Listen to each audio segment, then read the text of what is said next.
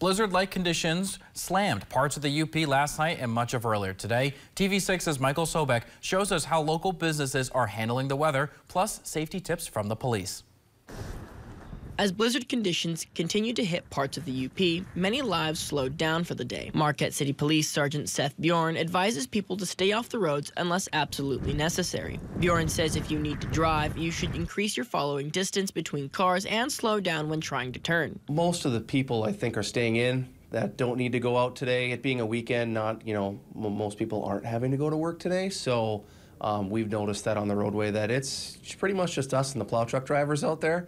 Um, so we appreciate that. While the roads were mostly empty, Yoopers didn't let the snow stop them. The Ore Dock Brewery and other Marquette businesses chose to stay open. Ore Dock Brewery events manager says the brewery was determined to be open for the community. We all like to be outside. A lot of us will walk in or ski in or bike in, and so we'll find a way, you know? We want to pour some beers, we want to hang out, and so far I've had people all day, so it's been kind of good. Many people were hiking the shoreline to see the powerful waves of the lake or biking through downtown. Marquette County resident Joe Pelto says he is excited to see the snow finally arrive and hopes everyone else is too. Just absolutely thrilled for this, and the Noque trail work will be probably firing up and heading full force. And yeah, hopefully everyone else, all the ice climbers are happy. And yeah, it's, uh, I don't know, it's, it feels normal now. Some Yoopers even took the opportunity for outdoor cardio. We got we got some we got some crazy Yoopers out here running around with their shirts off.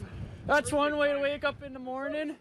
Bjorn says if you do decide to enjoy the winter weather, you should plan ahead. Michael Sobek, TV6 News, Marquette. Thanks, Mike.